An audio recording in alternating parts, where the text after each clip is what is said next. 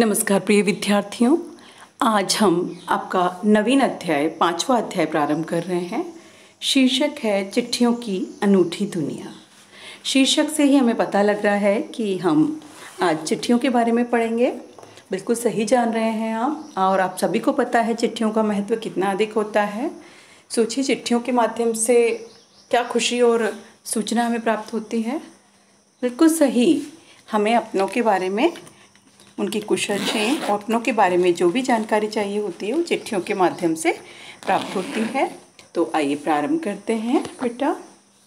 पत्रों की दुनिया भी अजीब गरीब है और उसकी उपयोगिता हमेशा से बनी रही है। पत्र जो काम कर सकते हैं, वह संचार का आधुनिकतम साधन नहीं कर सकता।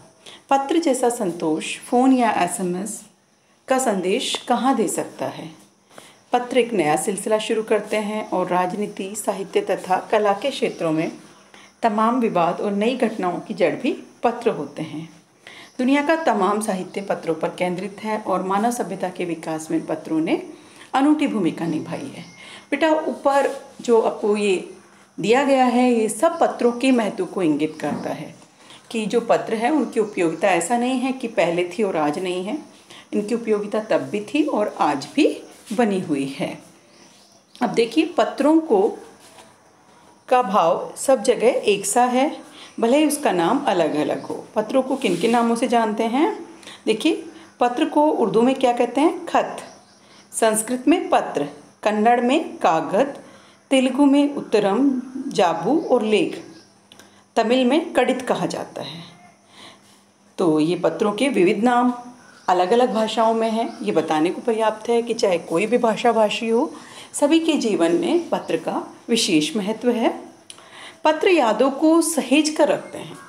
मतलब पत्र हमें अपनी यादों के झरोके में ले जाते हैं। हमारी यादों से जुड़े होते हैं।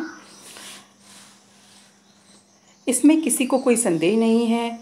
हर एक की अपनी पत्र लेखन कला और हर एक के पत्रों का अपना दायरा।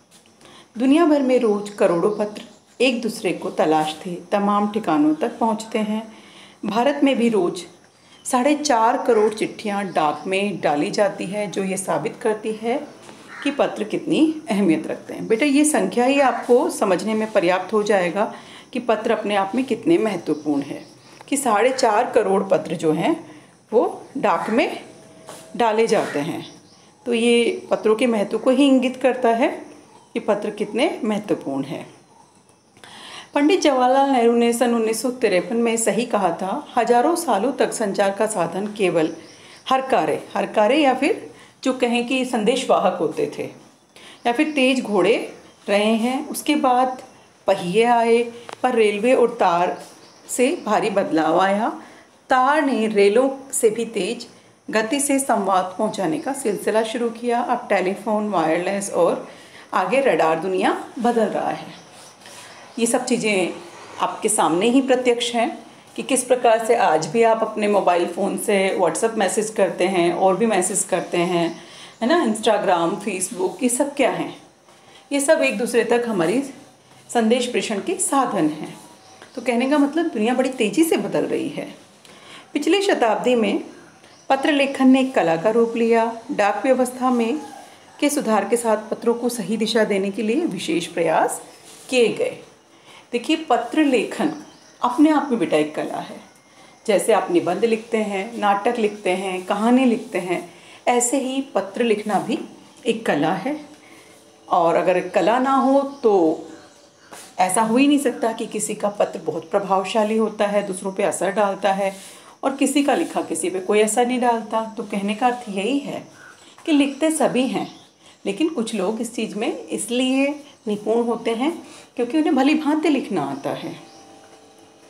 तो पत्र संस्कृति विकसित करने के लिए स्कूली पाठ्यक्रम में पत्र लेखन का विषय भी शामिल किया गया है। भारत ही नहीं, दुनिया के कई देशों में प्रयास चले और विश्व डाक संघ ने अपनी ओर से काफ़ी प्रयास किए। विश्व डाक संघ की ओर से 16 वर्ष से कम आयु वर्ग के बच्चों के लिए पत्र लेखन प्रतियोगिताएँ आयोजित करने का सिलसिला सन 1972 से शुरू किया गया।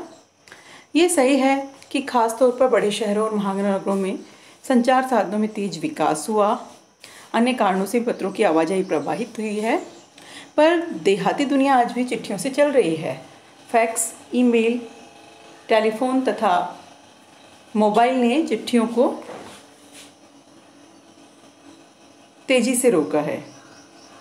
पर व्यापारिक डाक की संख्या लगातार बढ़ रही है। तो कहने का मतलब ये है कि पत्र लेखन एक कला है और इसको प्रोत्साहित करने के लिए विविध स्तरों पर प्रयास किए जा रहे हैं।